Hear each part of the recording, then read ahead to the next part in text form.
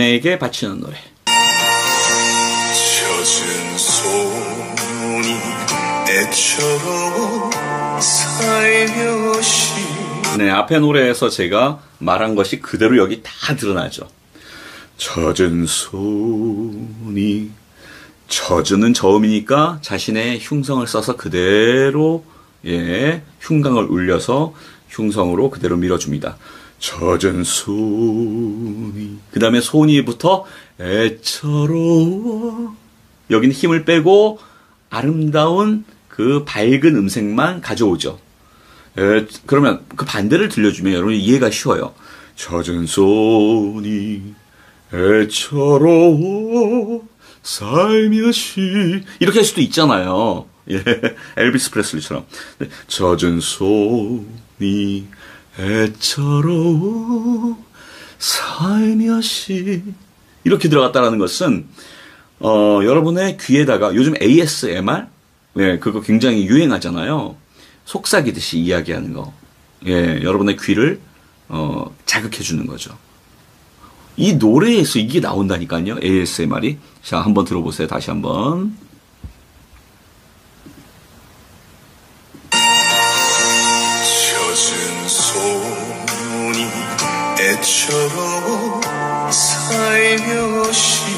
자, 애처로워부터는 거의 자기 음색이 없죠. 젖은 손이 애처로워 살며시 이렇게 부드럽게 불러준다는 거죠. 아니 이 목소리에 녹지 않을 여성이 있을까요? 예, 진짜 이건 신이 키스를 했다 목에다가 어, 이런 표현 많이 하는데 루치아노 파바로티한테 많이 썼던 그 표현이 여기서 나오네요.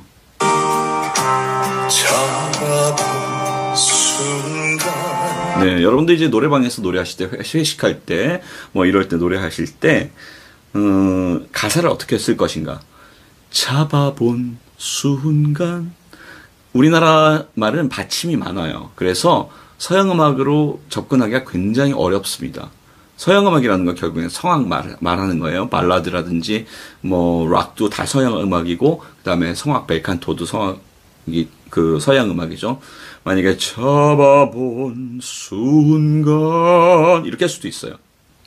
아, 소리는 멋있게 들릴 수 있어요. 그런데 느끼하겠죠. 잡아본 순간, 이런 식으로. 느끼하게 갈 수 있는 거를 딱 방지를 하는 게 어떻게 하냐면은, 받침을 미리 붙여버리는 거예요. 잡아본 순간 이런 식으로 잡아본 잡아본이 아니고 잡아본 순간 그쵸? 자 한번 들어보세요. 잡아본 순간 그렇죠. 간 하고 바이브레이션 쓰고. 그쵸? 여러분들 바이브레이션, 어, 저는 바이브레이션이 안 돼요 하시는 분들 계시죠? 그런 분들은, 어, 방법이 있습니다. 어, 아를 길게 내세요. 어, 인위적으로, 어, 파장을 만드는 거예요. 근데 이걸 조심, 하, 조심하셔야 되는데, 어, 어, 어, 어, 어, 이렇게 끊어지면 안 되고요. 어, 부드럽게 파장을 타고 가야 돼요. 잡아본 순간. 너무 지나쳐도 안 되고, 너무 없어도 안 되는 게 바로 노래에서 바이브레이션입니다. 그쵸? 한번, 아, 뭐 손을 자기가 이렇게 바이, 바이올린 운지하고, 이렇게, 음, 비브라토 넣듯이 한번 시늉해 보는 것도 괜찮고요. 근데 어떤 보컬 코치는 여기를, 아, 이렇게 하라고 그러는데, 이건 절대 안 됩니다. 위험합니다. 잡아본 순간. 예, 이 정도면 좋겠어요. 그 다음.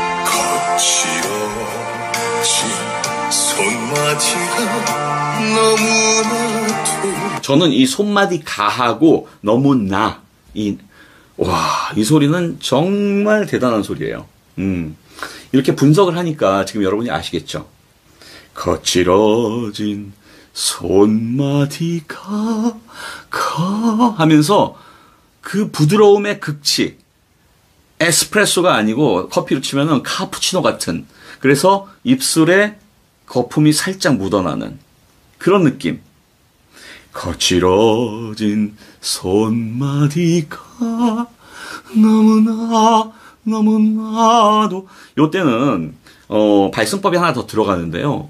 요건 이제 제가 어, 학생들 지도할 때 이제 가끔씩 그냥 따라 할래 한번 해보 한번 해볼래 그러니까 너무나 아 하고 기시금이라 그랬죠. 이 안으로 코 쪽으로 바람을 집어넣는 거예요. 너무나도 거칠어진 손마디가 여기도 마찬가지. 너무나도 이런 식으로 자 한번 어, 들어보세요. 거칠어진 손마디가 너무나도 아시겠죠? 그 비밀이 드디어 열렸습니다. 그래서 여러분들이 아, 나도 노래방에서 좀 시도해보고 싶다. 특히 남자분들 거칠어진 손마디 가, 가 그냥 때리지 마시고요. 가 그냥 저 따라하세요. 가 너무나 아, 바람을 자 초, 촛불이 요 앞에 있으면요 움직이면 안 돼요.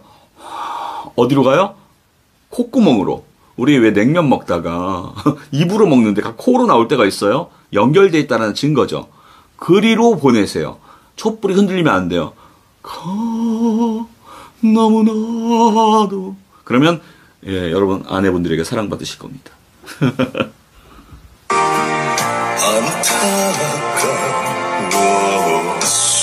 안타, 안타, 또, 또 썼어요. 그 기법을. 안타까. 그리고 언제 그랬냐는 듯이, 네, 흉성을 보여주겠어. 우어소. 그쵸? 한 번 더 들어보세요. 안타까웠어. 안타 이런 소중한 재료들이 모아 모아져서 3분 또는 4분에 여러분의 귀를 즐겁게 해주는 그 노래를 황영우 씨가 하는 거예요. 이 소중한 재료들이 모아지기까지는 아주 피나는 노력이 또 있어야겠죠. 예. 그래서 저절로 되는 건 없습니다. 예, 저절로 되는 건 없고 자꾸 선배님들 가수일 거 흉내도 내보고 어, 발성책 성악도 들여다보고 그 다음에 트로트 가수들이 하는 거 흉내도 내보면서 자신의 것을 찾아가는 그 과정이 분명히 있었을 겁니다. 그렇죠? 손끝에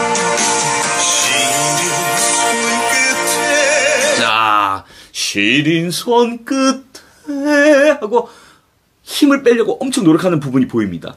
시린 손 끝에 시, 보통 사람은 일반 사람은 시린 손 끝에 이렇게 힘이 들어가잖아요. 근데 그 힘을 빼버린다는 거죠. 자, 들어보세요. 손끝에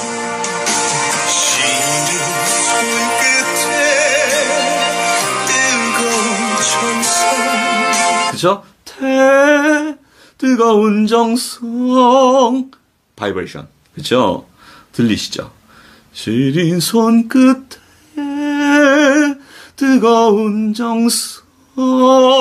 이런 식으로, 어, 바이브레이션이 나와줘야 음정이 해결되는 거예요. 그래서 여러분들이, 어, 관악기, 현악기, 모든 그 오케스트라의 악기들은요, 그 바이브레이션이라는 파장을 통해서 음정으로 물리적으로 우리 귀로 들어오니까 그것이 합쳐졌을 때 더 아름다워지고 배음이 생기고 아름다워진다라는 거죠. 가요도 마찬가지입니다. 가요도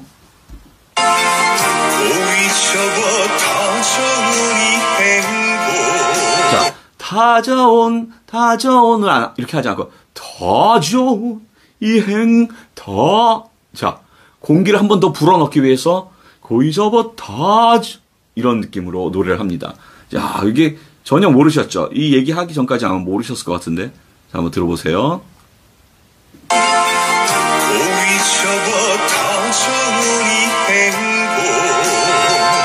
보, 보, 또 바이브레이션 생기죠. 보, 그쵸? 땀 나라일지 예. 이런 저음이 고음을 내다 보면요. 저음이 안 나게 돼 있어요. 근데 고음 갔다가 다시 또 저음으로 왔을 때 땀방울로 씻어 하면서 땀 땀 자기의 그 고유의 그 황영웅 씨의 저성이 들려진다는 거죠. 그래서 위대하고 그래서 귀하다는 겁니다. 나는 다 어, 이 소리 어떡할 거야? 나는 다, 나는. 이미 연습을 많이 하고, 목이 살짝, 어, 떠 있고, 이 상태에서 이 점을 내려면 굉장히 어렵습니다. 그래서, 어, 황영웅 씨는 low 바리톤의 성격이 좀 있어요. 그런데 그 고음을 그렇게 낸다라는 것은 호흡이 엄청 세다는 거고 모르긴 몰라도 운동도 많이 하는 것 같아요. 예, 그래서 그 근육이 딱 잡아줘야 아까도 말씀드린 음이탈이 나지 않거든요. 그렇게 하면서 자기 목소리 natural voice를 나는 다시 예, 저는 안 나잖아요. 지금 막 목이 떠가지고 나는 이렇게 소리가 휙 날아가 버린단 말이죠. 근데 황영호 씨는 나는 나는 안정적으로 난다는 거죠.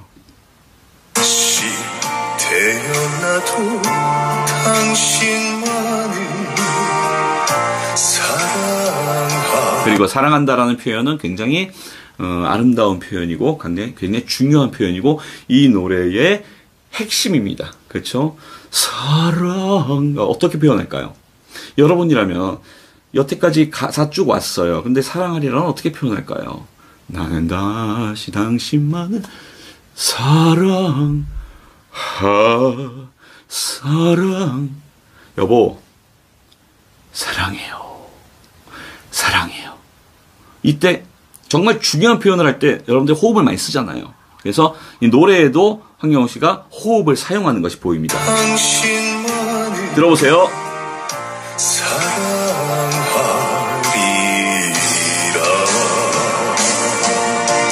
네, 이거는 사람의 목소리가 아닌 것 같은 마치 기악으로 어떤 그 음, 컴퓨터로 찡, 찡 이렇게 하는 것 같은 그런 느낌이 있죠.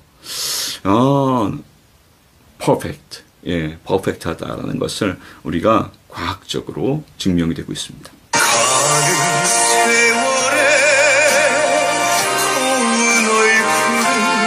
황영훈 씨를 몰랐던 많은 주변의 사람들이 어, 황영훈이 누구야? 나 임영웅은 아는데 뭐 이렇게 말씀들 많이 하세요. 그런데 어, 그 중간에 이제 어, 참 휴식 기간이 있었기 때문에 사람들이 더더욱 모를 수 있고 언론 플레이가 많이 안 돼서 그럴 수도 있는데 그 노래를 들어보세요 하고 들려주면요 깜짝 놀래요 다들 이런 가수가 있었어? 노래 왜 이렇게 잘해? 다 이런 느낌으로 저한테 반응을 해주십니다. 그래서 아 우리 방에는 그래서 어, 성악적으로 노래 잘하는 우리 김호중 씨가 있, 고 그리고 또 이렇게 어, 전통가요 쪽에서는 우리 황영웅 씨 이렇게 분석을 하고 있다라는 이야기를 하니까 어, 아주 좋은 방향으로 잘 가고 있다 칭찬을 해주십니다. 예, 여러분들도 그렇게 생각하십니까? 예, 동의해 주시면 1번.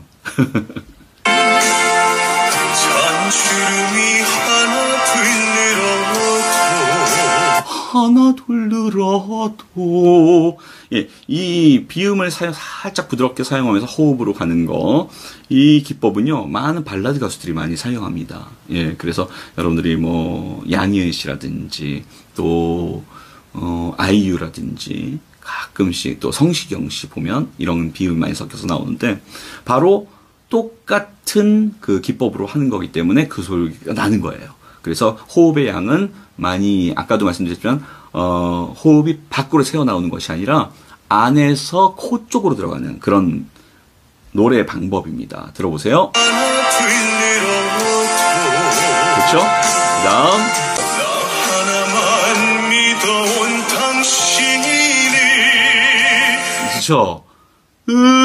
더줄 수도 있는데 으 잡고 빼는 거죠. 예, 그래서 어려운 거예요.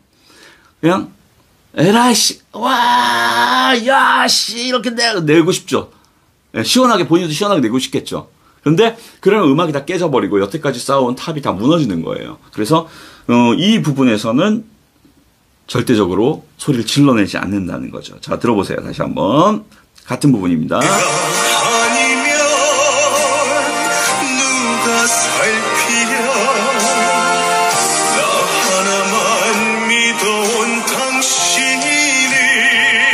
다시 그렇죠. 다시 정리하는 거죠. 당신을 빨리 끊고 호흡 가다듬고 나는 다시 태어나도 당신만을 또 나오는 거죠. 예, 내 제가 노래하고 싶죠. 왜 갑자기? 다시 태어나도 당신만을 사랑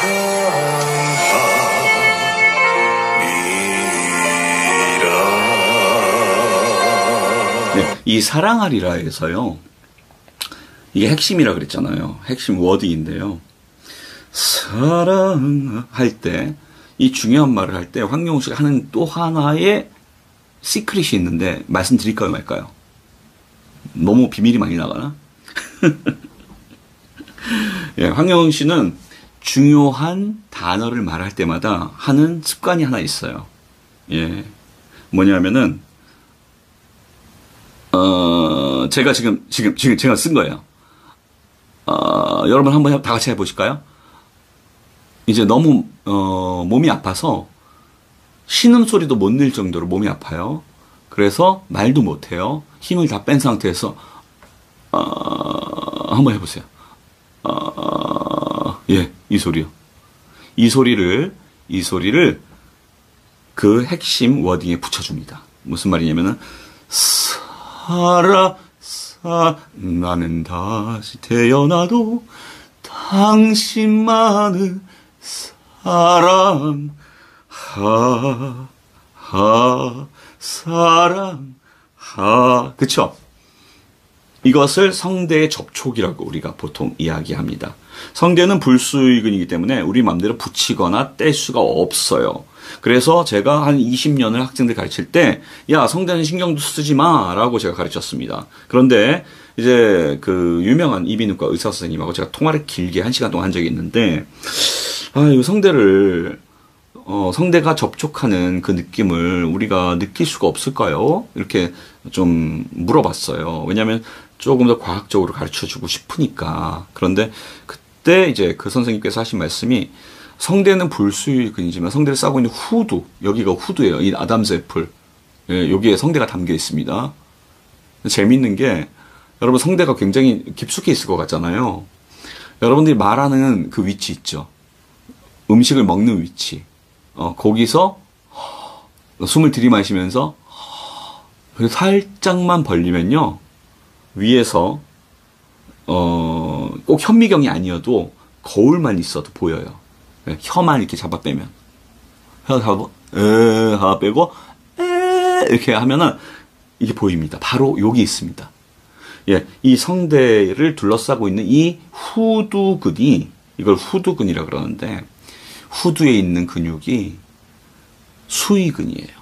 불수의근은 내가 마음대로 못하는 근육입니다. 그냥 본능적으로 하는 그런 근육이고요. 성대는 불수의근이고요. 이 후두, 성대를 둘러싸고 있는 후두근은 수의근입니다. 내 마음대로 쓸 수. 예를 들어서 제가 역기를 이렇게 들 수 있잖아요. 그래서 이 팔은 그러면은 수의근이죠. 불수의근이 아니죠. 성대는 불수의근이라는 거죠. 근데 그걸 둘러싸고 있는 근육이 그래서 성, 성우들이 라라라라라라 이런 소리도 낼 수 있는 거예요. 그렇죠. 그게 바로 성대가 딱 접촉하는 그런 느낌인데 그 느낌을 어, 여기서 이제 보여준 거죠. 사랑하리라 한번 다시 한번 들어보실래요?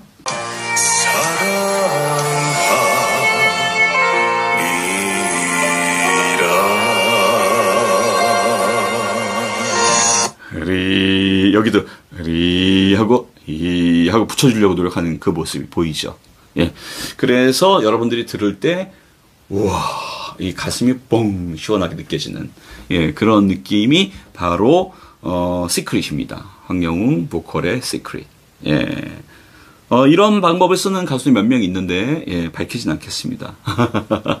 하수영 원곡 아내에게 바치는 노래였습니다.